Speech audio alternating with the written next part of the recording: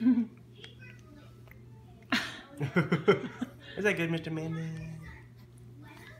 Hmm? No, no, let's get out of here. Ooh. You don't like broccoli?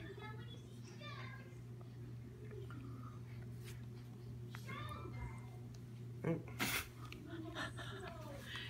You'd rather eat his bib.